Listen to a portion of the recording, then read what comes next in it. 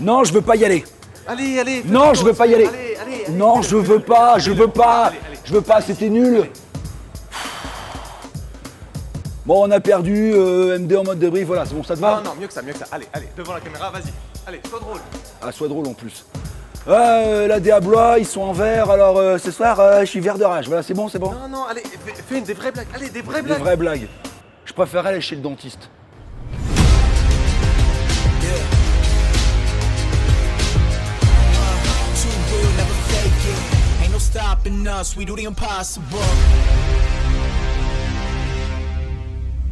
Oui, je vais être franc avec vous, c'est très difficile pour moi de vous faire un résumé parce que franchement, cette défaite-là, je l'ai là. Et je pense aussi que les joueurs, le staff, les 6000 spectateurs qui sont venus une nouvelle fois remplir cette superbe salle de Gentilly, eh ben, ils l'ont mauvaise également. Écoutez, c'est simple, en discutant avec le coach Sylvain Lautier, il a dit ces mots très durs, mais peut-être très vrais. C'est une faute professionnelle. Ce soir, le Suc Nancy Basket n'aurait pas dû perdre contre une belle équipe de Blois qui, elle, n'a pas lâché. Alors, oui, ça fait mal, mais quand c'est comme ça, on fait quoi? Eh ben, on se remobilise et on repart de l'avant. Allez, je vais vous expliquer pourquoi qu'on a perdu.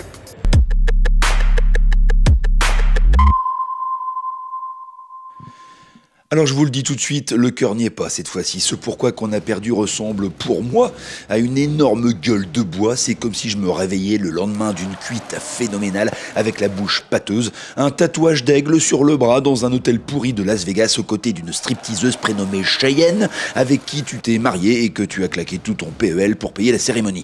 Pourquoi qu'on a perdu? Ben franchement, n'allons pas chercher de midi à 14h. Revenons au début du match.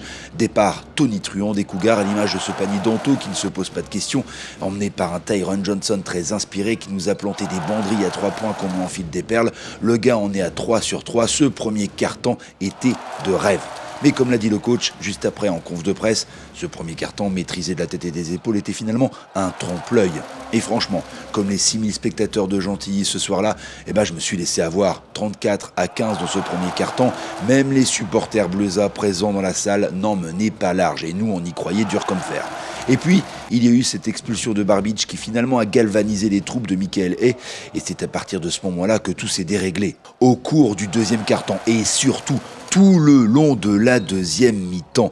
Car oui, au retour des vestiaires, qu'est-ce que l'on lit sur le tableau d'affichage? 60 à 44.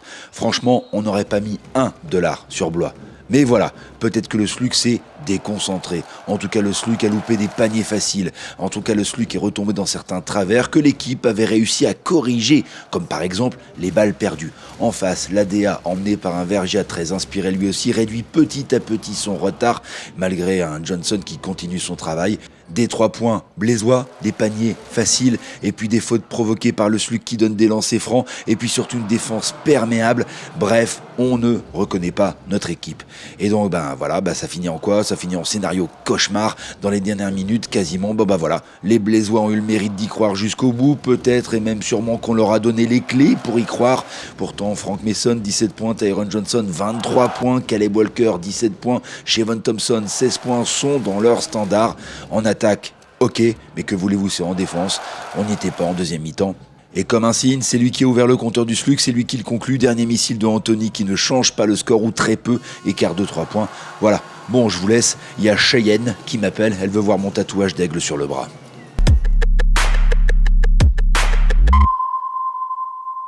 Le détail qui tue, je vous en ai touché un mot, c'est cette expulsion de Milan Barbic suite à deux fautes antisportives. Alors, à ce moment-là, on pensait que les affaires des Blaisois étaient réglées. Eh bien non, ce fait de jeu a au contraire déréglé la machine nancéenne d'une manière bizarre, car c'est selon moi le point de bascule de ce match, là où tout a changé. Alors, oublions cette soirée et remettons le bleu de chauffe, car semaine prochaine, pas de match parce que Because euh, Paris a repoussé parce que campagne européenne, tout ça, tout ça. Prochaine rencontre dans deux semaines à Gentilly contre un autre concurrent direct au maintien, Saint-Quentin.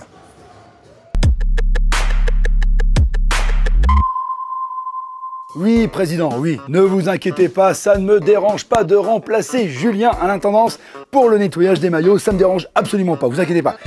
Comment? Oui, oui, ça sent un peu mauvais, c'est normal, hein, c'est du sport de haut niveau, c'est des maillots, ça sent un petit peu la transpi, c'est normal. Mais vous inquiétez pas, j'ai fait du basket, j'en ai vu d'autres. Y a pas de souci.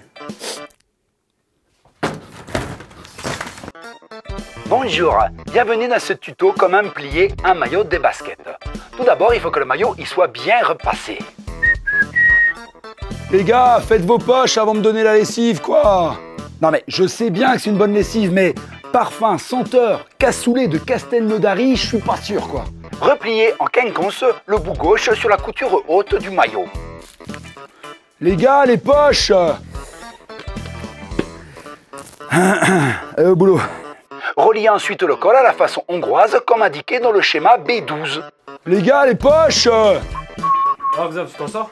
Ouais, c'est bon, je vais mettre tout ça à la machine avec de l'eau de javel, ça va être nickel. Non, pas de Javel. Ah si Ah si Ah non. Ah si Ah non. Puis les rabats extérieurs sur la diagonale.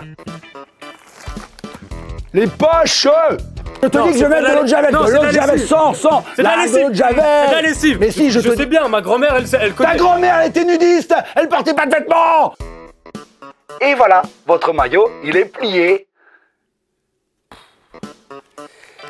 Les... Rien Tout va bien Continuez comme ça, les gars. Pas de problème. Alors? C'est une tâche de choucroute. On a deux suspects dans l'équipe.